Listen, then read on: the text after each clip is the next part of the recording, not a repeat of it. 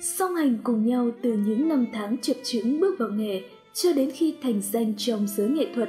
Sự nghiệp của rất nhiều nghệ sĩ cải lương như Bạch Tuyết, Hùng Cường, Lệ Thủy, Minh Vương, Kim Tử Long, Ngọc Huyền vân vân đều trở nên sáng chói không chỉ nhờ vào tài năng, sự nỗ lực mà còn phải kể đến sự hỗ trợ đắc lực từ phía người bạn diễn ăn ý của họ.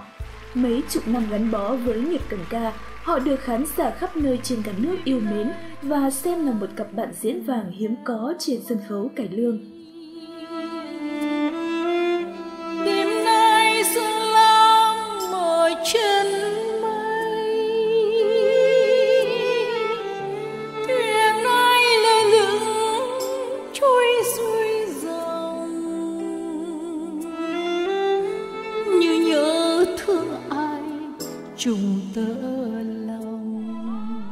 Cặp đôi vàng trong giới nghệ sĩ cải lương đầu tiên phải nhắc đến chính là nghệ sĩ nhân dân Bạch Tuyết và nghệ sĩ Hùng Cường.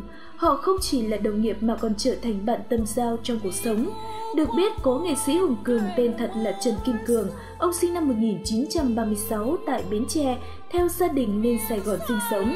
Nghệ sĩ Hùng Cường rất đa tài khi hoạt động trên nhiều thể loại như hát tân nhạc, cải lương, kịch nói, phim ảnh vân vân. Vốn xuất thân là ca sĩ tân nhạc, năm 1959, nghệ sĩ Hùng Cường bất ngờ chuyển sang diễn vai cải lương. Gia nhập đoàn Ngọc Kiều, vai diễn trên sân khấu đầu tay của ông là Romeo trong vở tuồng Mộng đẹp đêm trăng. Sau đó, nghệ sĩ đảm nhận kiếp chính trong vở cải lương Tuyết phủ Triều Đông. Vở diễn gây tiếng vang lớn thu hút hàng nghìn khán giả. Còn nghệ sĩ Bạch Tuyết, cô sinh năm 1945 tại Châu Đốc An Giang và được mệnh danh là cải lương chi bảo. Năm 1964, nghệ sĩ về hát cho đoàn Dạ Lý Hương. Một năm sau, vở Tần Nương Thất mang lại cho Bạch Tuyết huy chương vàng giải thanh tâm ở hạng mục nghệ sĩ xuất sắc. Có thể nói trước khi Bạch Tuyết gặp Hùng Cường và trở thành một cặp đôi sóng thần lừng lẫy, bản thân mỗi người trong họ đều là một ngọn sóng thần. Mãi đến năm 1966, Hùng Cường gia nhập đoàn dạ Lý Hương và cùng Bạch Tuyết lúc này đã trở thành một cặp diễn ăn ý trong lòng khán giả. lòng bồng dưng trùng lại gió vi vu mưa bụi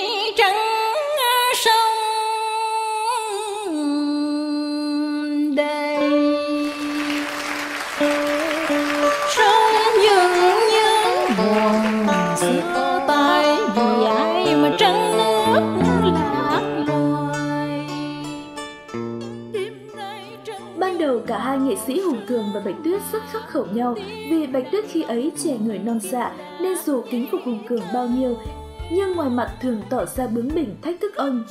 Khắc khẩu nhưng hễ hai người lên sân khấu là lại thăng hoa, cùng nhau tạo nên cặp đôi đào kép mới, sáng chói trong kỳ cực thịnh của cải lương.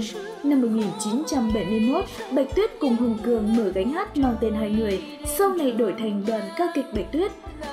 Sự hợp tác giữa Hùng Cường và Bích Tuyết trong loạt vở Yêu Người Điên, Tiền rừng miền bạc, Tuyệt tình ca, Má hồng phận bạc, cho chọn cuộc tình vân vân khiến cho khán giả kéo đến sạp đầy mịt. Tên của hai người xuất hiện đầy trên báo, banner khắp nẻo đường Sài Gòn. Tuy nhiên gánh hát chỉ duy trì được một thời gian rồi ngừng hoạt động. Từ chỗ kính phục lại ngày đêm gần gũi, Bạch Tuyết có đem lòng mê Hùng Cường và xem ông như một người bạn đời nghệ thuật song không thể tiến xa hơn. Nhờ vậy tình cảm họ dành cho nhau mãi đẹp và thuần khiết. Dù năm ấy không ít lời đồn đoán, vẫn cho rằng vì Hùng Cường mà vợ chồng Bạch Tuyết tam lang tan vỡ. Đến năm 1980, Hùng Cường sang Mỹ định cư còn Bạch Tuyết khi ấy bước vào giảng đường đại học, ngành cử nhân ngữ văn. Năm năm sau, Bạch Tuyết trở lại sân khấu với vai Thái hậu Dương Vân Nga. Nghệ sĩ Hùng Cường hay tin liền gọi cho cô, vừa khóc vừa chúc mừng. Đó là lần cuối cùng ông gọi. Năm 1996, nghệ sĩ Hùng Cường qua đời.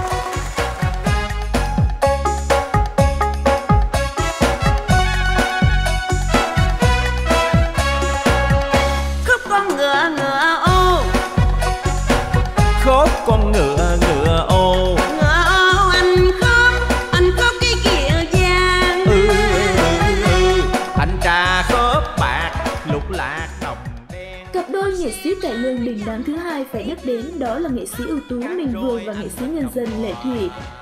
Bởi hiếm có cặp đôi đạo kép nào bền bỉ bên nhau 40 năm như họ.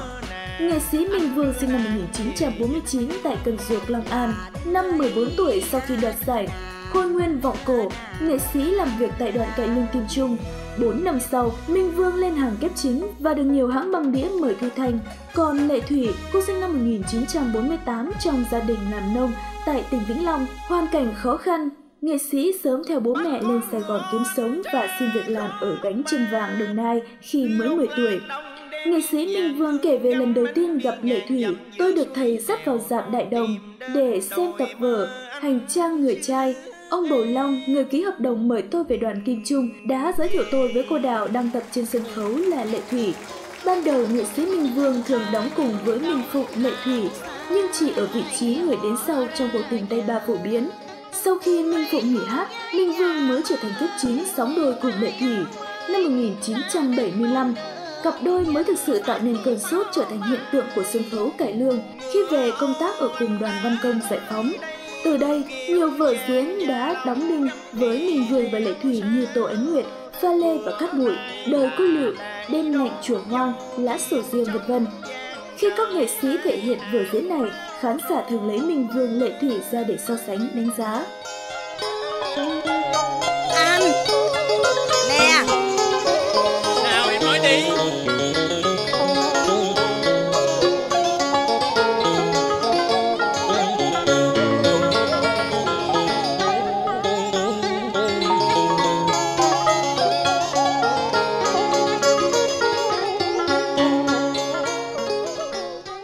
và diễn cùng nhau, Minh Vương và Lệ Thủy luôn được nhiều người khán giả nhắc tới. Năm 1992, khi cả hai nhận giải nam nữ diễn viên cải lương đóng chung được yêu thích nhất, nghệ sĩ nhân dân Lệ Thủy từng tâm sự. Chúng tôi hát chung với nhau giết rồi ăn ý, cũng không cố gắng gây dựng hình mẫu đôi nghệ sĩ, nhưng không hiểu sao khán giả cứ thích. Tôi đi diễn ở đâu một mình là họ lại hỏi tại sao không có Minh Vương. Năm 2008, Trung tâm Sách Kỷ lục Việt Nam cũng trao danh hiệu đôi nghệ sĩ cải lương đóng chung lâu năm nhất và ăn ý nhất cho Minh Vương và Lệ Thủy. Trong gần 40 năm sóng đôi, hai nghệ sĩ đã diễn hơn 200 vở cải lương. Đến nay, dù không còn thường xuyên biểu diễn cùng nhau, họ vẫn là đôi bạn thân thiết. Không những thế, uy tín của cả hai đã tạo nên chất kèo gắn kết dễ dàng cho các chị em nghệ sĩ khác trong việc chung tay xây dựng những chương trình sân khấu cải lương trong thời kỳ bộ môn nghệ thuật này đang gặp khó khăn và trong các chương trình từ thiện. Sân khấu vàng là một minh chứng. Chỉ sau hơn một năm hoạt động, có 6 vở đã được đồng diễn. Chương trình đã trao tặng 26 căn nhà tình thương cho đồng bào nghèo từ tiền doanh thu bán vé và đóng góp của Mạnh Thường Quân.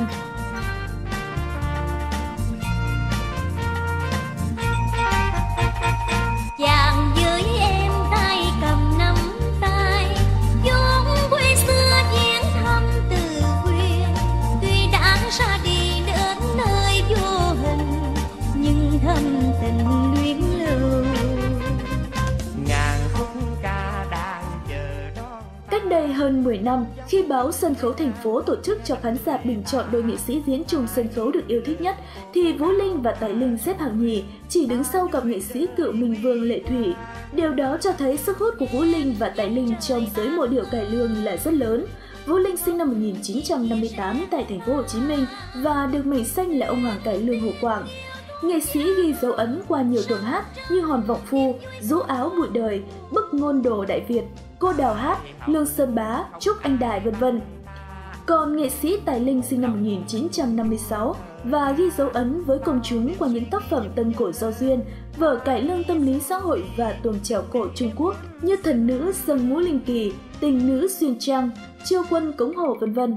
Vở diễn ghép đôi cho Vũ Linh và Tài Linh là Lương Sơn Bá Trúc Anh Đài. Khi đó Vũ Linh công tác ở đoàn Trần Hữu Trang. Anh đề nghị trưởng đoàn là nghệ sĩ ưu tú Lê Thiện mời Tài Linh về tăng cường. Đôi diễn viên lần đầu hợp tác đã tạo nên hiệu ứng tốt và nhanh chóng trở thành hiện tượng sân khấu với những buổi diễn cháy vé. Họ còn đóng cặp trong bản tình ca còn đó, Không bán tình em, Thần nữ sân ngũ linh kỳ vân vân. Thập niên năm 1990, hai nghệ sĩ nổi lên thành kép nam nữ chính đắt sâu nhất nhì của sân khấu cải lương. Người hâm mộ song linh đều mong họ sẽ thành tình nhân ngoài đời. Tuy nhiên đôi nghệ sĩ chỉ xem nhau là bạn tâm giao trong cuộc sống lẫn nghệ thuật.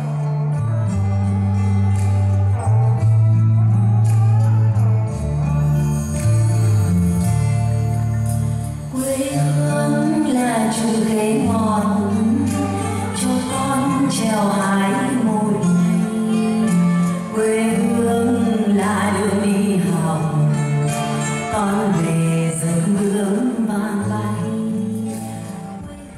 sĩ ưu tú là Minh Thành và Thanh Thanh Hiền cũng là một trong những cặp đôi vàng trên sân khấu cải lương.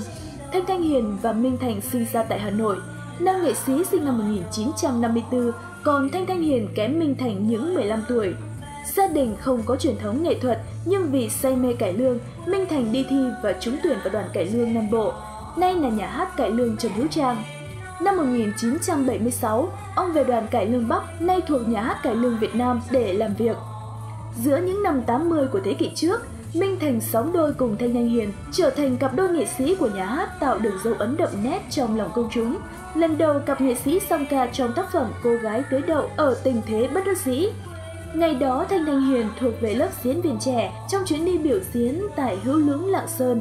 Diễn viên đóng cặp cùng Minh Thành nghỉ đột xuất theo sự điều động nghệ sĩ sang đoàn. Một là để hòa giọng cùng với Thanh Thanh Hiền trong tiết mục văn nghệ. Nghệ sĩ sang đoàn 1 để hòa giọng cùng với Thanh Thanh Hiền trong tiết mục văn nghệ.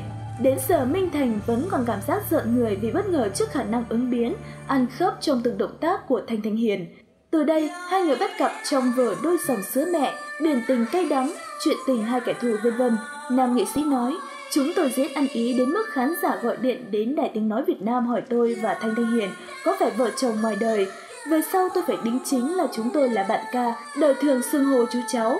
Đầu những năm 2000, khán giả không còn thấy cặp nghệ sĩ này đứng chung sân khấu do Thanh Thanh Huyền chuyển công tác sang nhà hát ca mối nhạc Thăng Long.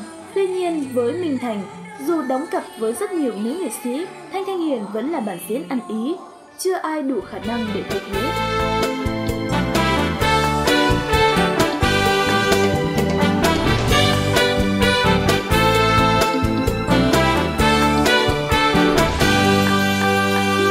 Nhớ khi xưa là nhau chung một đường kẻ trước người sau chàng lặng đi theo nàng hát vu vơ mấy câu nhạc Kim Tử Long và Ngọc Huyền là cặp đôi được nhiều khán giả biết đến.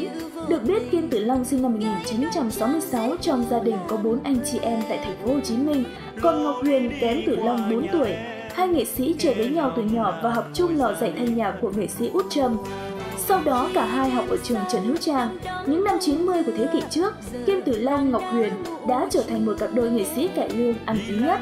Năm 1994, cặp Ngọc Huyền Kim Tử Long đã đoạt giải đôi diễn viên được yêu thích nhất năm. Kim Tử Long từng chia sẻ không ai có thể thay thế được vị trí của Ngọc Huyền đối với anh. Sau khi nghệ sĩ Ngọc Huyền sang Mỹ định cư, anh hụt hẫng vì mất đi bạn diễn tri kỷ. Cả hai đều cố gắng tìm bạn diễn thay thế chỗ trống của nhau trên sân khấu, nhưng không thành công vì khán giả luôn chỉ thích Tử Long Ngọc Huyền, tung hứng bên nhau. Vừa qua Kim Tử Long đã giúp Ngọc Huyền dựng vở sự án vì sao với chi phí đầu tư lên đến 700 triệu đồng.